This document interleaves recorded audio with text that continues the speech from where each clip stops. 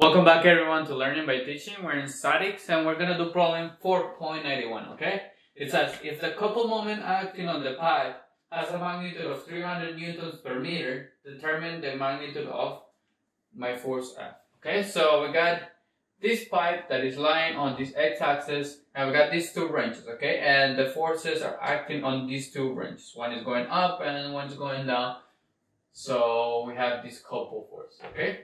So we know that a moment in a 3D is going to be equal to a vector distance. So I always pick the distance between the two forces.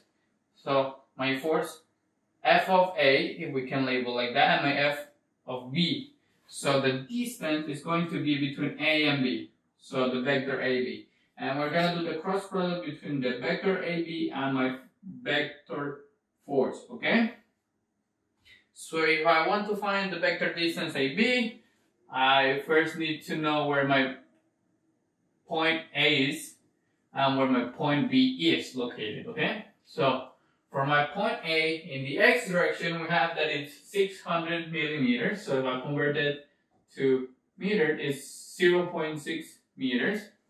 In the y direction, it's going into the negative and it's 0.15 and it's negative, forgot the negative, so negative 0.15 and actually it's in, it doesn't have a height, so it's 0 in my z direction, okay? This is in meters.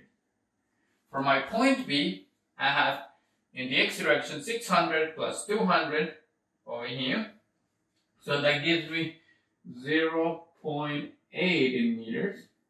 In the y direction, I will have 150 millimeters positive, so that gives me 0.15 positive.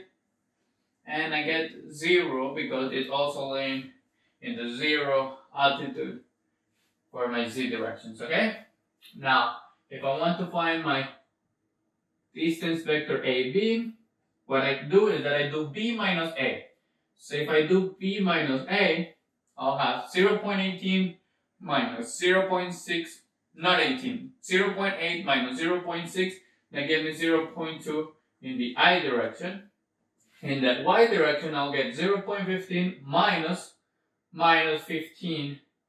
So that gives me positive 0.8 in the j direction. And then in the z direction, I got 0 minus 0 will give me always 0. So I found my distance vector AB, okay? So if we follow the equation, we know that the moment is going to be equal to the cross product of AB and my force F. So I have the I, J, and K direction. For my distance AB, so the first one I put on is going to be 0.2 in the I direction, 0.3 in the J direction, and 0 for my K direction. If we look at my force F, it's only acting on the z plane. So I have 0 in the z direction, I'm sorry. So I have 0 in the i direction, I got 0 amount in the j direction or y direction, and I have my total magnitude F in the z direction, okay? So if we do this, so we know that this is going to be equal to, so in order to do this, we will hide our column and our row.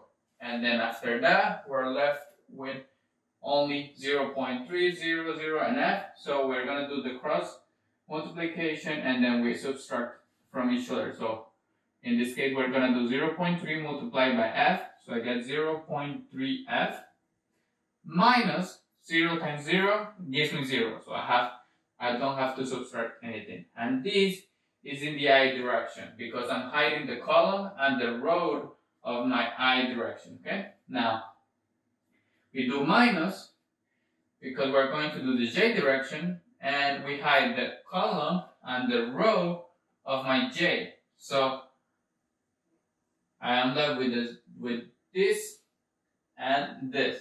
And we cross multiply. So we do 0 0.2 multiplied by f. So we do 0 0.2 f minus 0 times 0 gives me 0, so I have to do nothing in there, and this is in the j direction.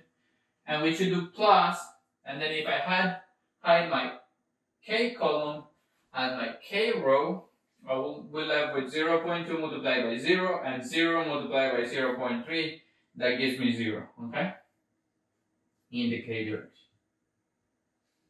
Now, if we do it, we basically said that my moment is going to be 0.3f in the i direction minus 0.2f in the j direction. Okay? Now we know the magnitude of the moment, so the magnitude of the moment has to be equal to 300 newtons per meter.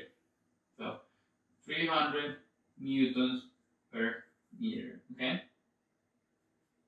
Now, how do we find the magnitude? Well, we find the magnitude by applying Pythagorean theorem, and we know that the magnitude is also equal to the square root of my x component squared, so 0 0.3f squared, plus my y component squared, which is 0 0.2f square. I don't put the negative sign because the square is going to cancel them out, okay?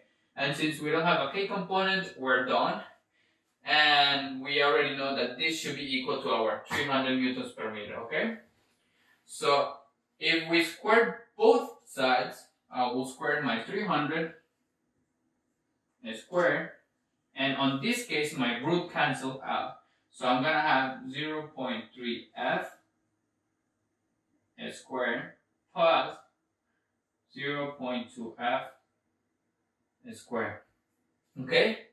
So what I'm going to do is that I'm going to leave this 300 square.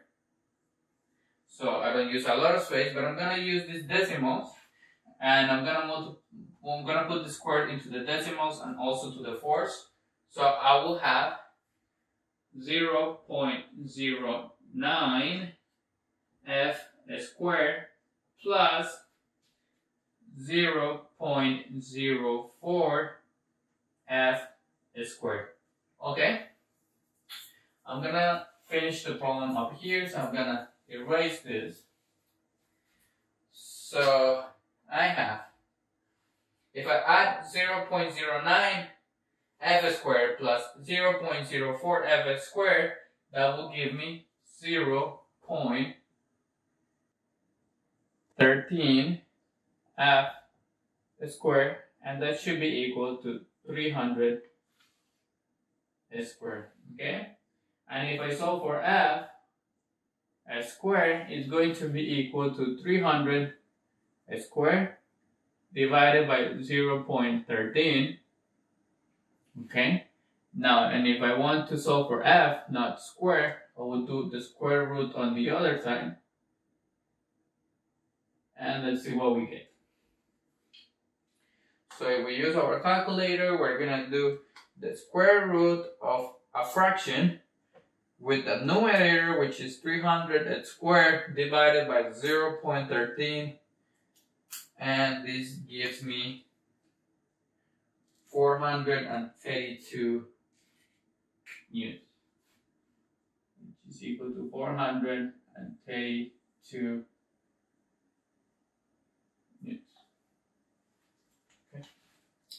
Thank you guys for watching. If you guys have any questions or any comments, just post it down below and I'll see you guys in the next video.